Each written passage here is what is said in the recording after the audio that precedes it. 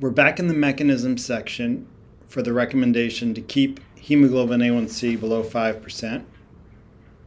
We've already covered the factors that contribute to elevated hemoglobin A1C.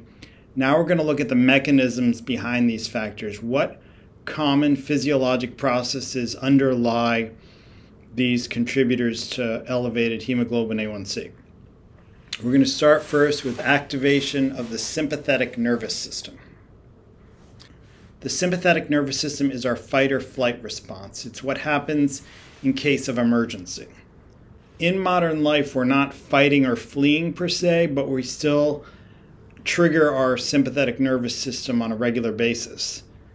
The two factors that can contribute to elevated sympathetic nervous system or the fight or flight response on a chronic basis, meaning not just when there's an imminent threat, but all the time, are depression and insufficient sleep. We saw how those two factors contribute to the rise in hemoglobin A1C. Now we're going to look at why that occurs. When we're in a fight or flight response, our brain needs glucose. In order for our brain to get glucose, it has to be produced by the liver and the and it can't be taken up by muscles. If it's taken up by muscles, it won't be available for the brain. The two hormones that govern our fight or flight response are epinephrine and cortisol. We'll start with cortisol. Both hormones, however, work in the same way.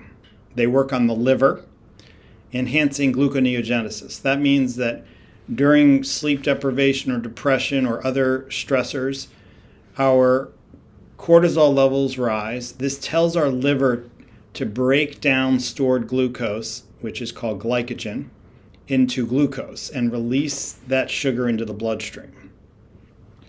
The other thing that cortisol does is it works on muscles and it decreases receptivity to insulin. Insulin normally allows glucose to enter the muscle cell. So by decreasing sensitivity to insulin, the muscle cells are no longer able to take up glucose despite rising levels of insulin.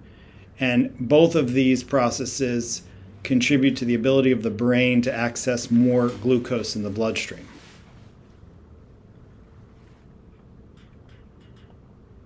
The other hormone, epinephrine, has the same effect. It will work on the liver to break down glycogen to make it into glucose. It will also inhibit glucose uptake by muscle cells, which further contributes to elevations in blood sugar.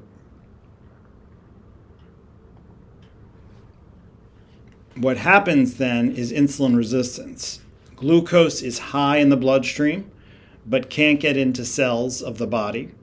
And so insulin continues to rise, but cells are resistant to its effect.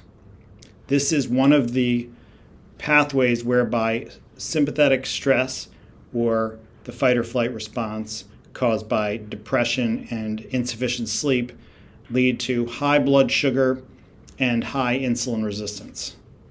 That is what leads to elevated hemoglobin A1C.